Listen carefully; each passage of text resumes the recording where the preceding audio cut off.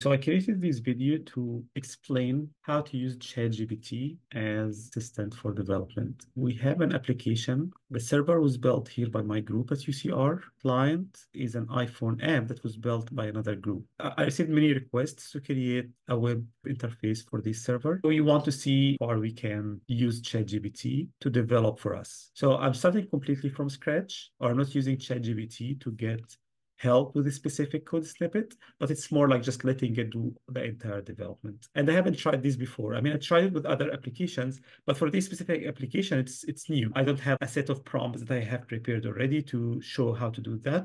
I'm just gonna do this with you and see how this will work out. So we don't have to worry about the back-end development. The API is, is in place. So we already have a, a decent API documentation that we will share with ChatGPT to build the application for us. Uh, to show you how the application looks like, it's an agricultural application where you can see all the farmlands. You can zoom in to see any specific farmland. You can click on any of them to run soil statistics. You can choose any depth you want, and then which soil product you are interested in. And then for this specific region that you selected, you get the minimum, maximum, median, or some statistics about it. You can also draw a custom region and then query this data as well. So you want to replicate all of this using a web application to the limit reasonable to do with a web application. Uh, I typically give these tasks to my students, either undergraduate students or master students. Say a typical student would take maybe a quarter, like 10 weeks, to do a project like that. Uh, this includes the learning time, learn about the project that we have. They'll have to set up the server themselves. During these 10 weeks, I typically meet my students 30 minutes a week. So my involvement in this project is, I'd say, at least five hours. So now let's see if ChatGPT can cut down these five hours to less than that. Let's first take a look at the final product to get an idea of what we want to accomplish. We have a big map and a list of farmlands to choose from. Once we choose a farmland dataset, it is visualized on the map, and the user can navigate to any region to update the visualization. Once you zoom in to see individual farmlands, the user can choose soil depth and soil layer they would like to query. Then you can draw the region of interest on the map and click Run Soil Query. You will get two results. First, you will see a soil map of the selected layer and depth with the color interpretation indicated on the left. Second, you see a box and whisker plot that indicates the median, lower quantile, upper quantile min and max values. There is another way to query the data. Let's navigate to a different location and click Query All Farmlands in View.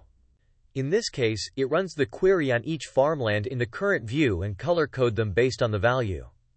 The legend is also updated to reflect the result. Now let's start the actual application development.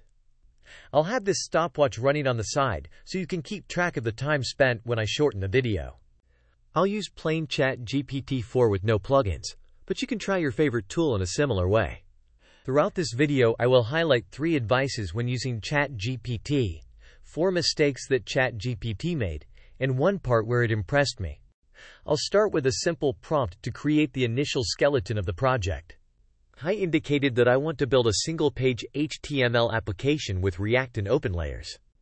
I also indicated that I will not use NPM just because I'm not used to it. The first advice is to have some idea of what you want to build, so I don't recommend this method for someone who is not familiar with development. The result of this part is three files that I will host on the web server. While testing, I'll use a private browsing window so I can easily refresh the app without worrying about any cached files at the browser. You can see the result of this initial application. The first feature to implement is to provide a list of farmland datasets to choose from, and when one is selected it will be displayed on the interactive map. For this part, I first give a very simple prompt, followed by the API documentation of the relevant endpoints. Since we use React, most of the code will be within the app.js file. I reloaded the page and I noticed that it didn't work. With quick inspection of the result, I found that the code is trying to use the production server while I'm running it locally, so I adjusted the code to allow it to easily switch between development and production. Now it works correctly.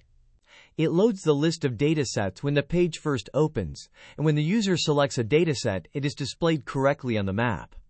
However, I noticed that when I select a different dataset, it keeps both datasets. but I wanted it to visualize only the selected dataset. My second advice is to copy and paste any code that you modify back to ChatGPT to make sure it builds on the updated code. I initially copy-pasted the new generated code and it didn't work. From this point, you need to be a bit careful about the generated result. ChatGPT tends to limit the result size, so it often generates only the modified parts and adds some comments on where to place them. My third advice is to carefully merge the generated code with the existing one to avoid removing some functioning parts. Once the code is merged correctly, it worked as needed. In the next part, I wanted to allow the user to draw a polygon on the map that I will later use as the query polygon. This part took a bit longer than expected. The initial result looked good because OpenLayers has a built-in functionality for drawing polygons. However, there were a couple of issues such as the polygon disappearing after drawing, and the map sticking to the mouse before or after drawing the polygon. It took me a couple of minutes to fix this issue and ChatGPT failed to fix the issue. I couldn't easily find a fix with a quick online search. I had to fix it myself and provide the updated code to ChatGPT to continue on. I consider this the first mistake of ChatGPT for this project. Now, as the polygon is drawn correctly, I'll move on to the next step, which is to use it to run the query. First, I'll copy-paste my entire code after fixing the polygon drawing issue. Then I'll include my prompt of what feature I want to add. And finally, the API documentation of the relevant endpoints. After carefully merging the new code with the existing one, I found that the results are quite good for a first shot. It displayed the query parameters correctly, and it ran the query and showed the result. The result is plain JSON text, which is okay for testing at this point. I noticed that the generated code doesn't list all the depths and soil layers, so, so I asked it to complete that part. It's a simple change that I could do myself, but it's easier to do this way. Of course, the text representation of the result is only good for debugging, but it looks ugly so I asked it to generate a box and whisker plot based on the results. I expected it to use some existing library, but it generated code that uses built-in SVG drawing capabilities, which is fine. Initially, most of the plot was out of the screen, so I followed up with another prompt to make sure that the result is within the screen. The code didn't work right away since I repeated the same mistake of copying and pasting the entire function instead of merging the changes. Once the code worked, I noticed that it writes labels on the plot without displaying the numbers. I asked it to change that to add the numbers, but it replaced the labels with the numbers instead of keeping both. At this point, it's probably easier to make the fix myself, so I decided to let it go as is. Another issue that I only noticed later is that the box and whisker plot requires the lower and upper quantiles, which are not provided by the API. Ideally, ChatGPT should notify me about this issue. Instead, it tried to fit whatever data is available to draw something that looks like a box and whisker plot. I consider this the second mistake that it did in this video. At this point, we're about 45 minutes in, and we have a reasonable prototype, which I think is a very good result. The user can navigate the farmland datasets on the map, run some queries, and get the results in a graphical form.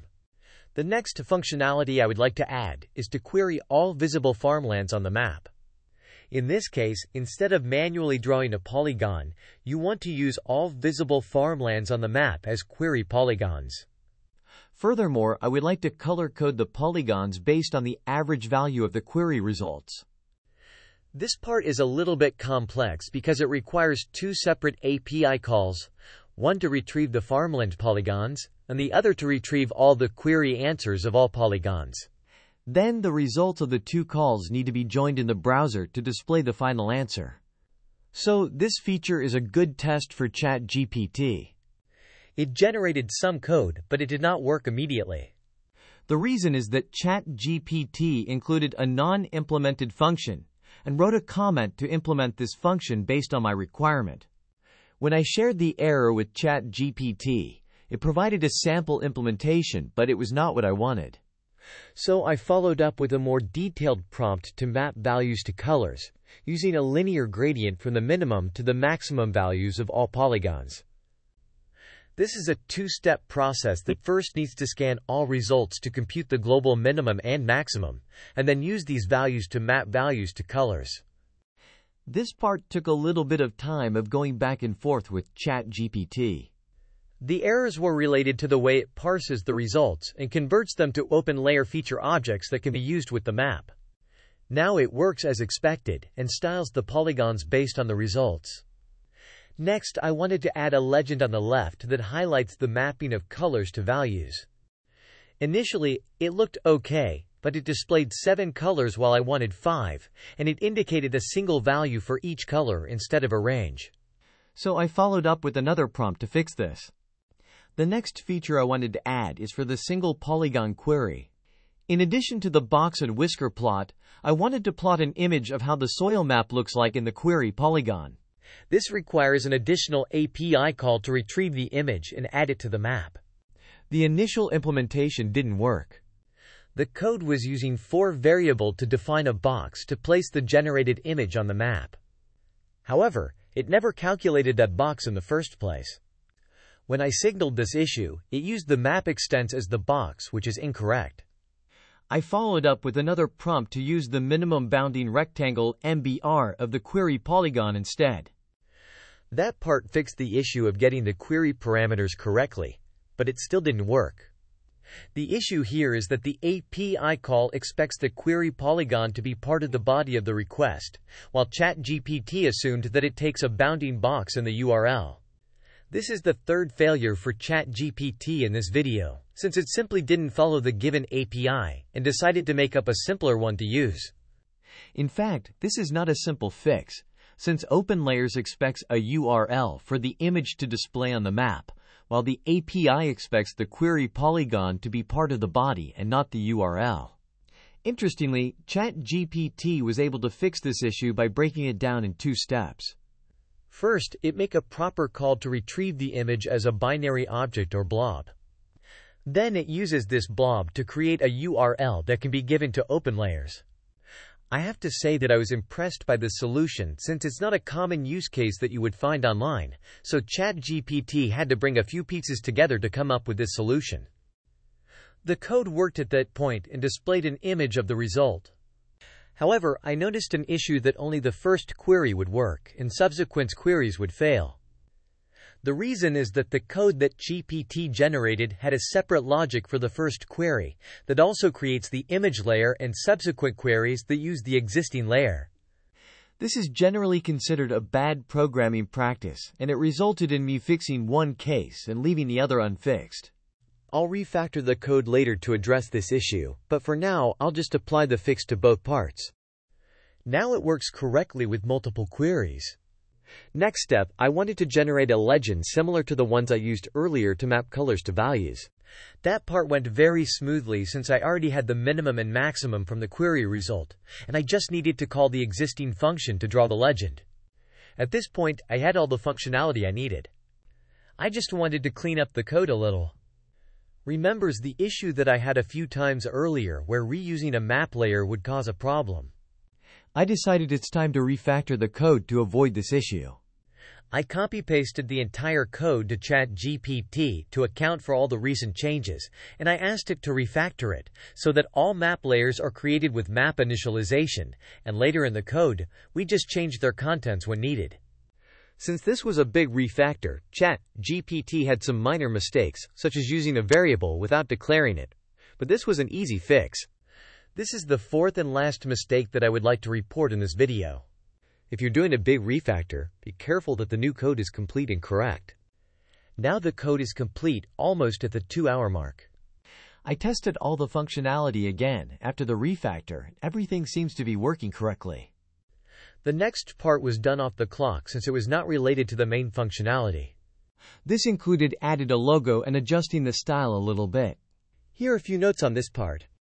If your logo contains text, ChatGPT will mess this up. It's much better than some earlier versions, but it would still contain typos. It couldn't generate an image with a transparent background, so I had to add the transparency in an image software offline. When I wanted to update the HTML code and the style, ChatGPT wanted to embed the style in the HTML code, so I had to remind it to separate it into a style file. Also, it was not very good with styling, even when I'm very clear of what I want to do. I suggest using it only at the minimum level to make very small changes, but don't rely on it to do a major styling for your page. To conclude, we've showed how to use ChatGPT as a development assistant to build a complete application from scratch. There were some issues that required manual intervention, but the final result is excellent for the relatively short time spent in the development without major prior planning for the development. If you're planning to use an AI assistant for your next development project, feel free to leave a comment down with the tool that you plan to use or the project you will build using it.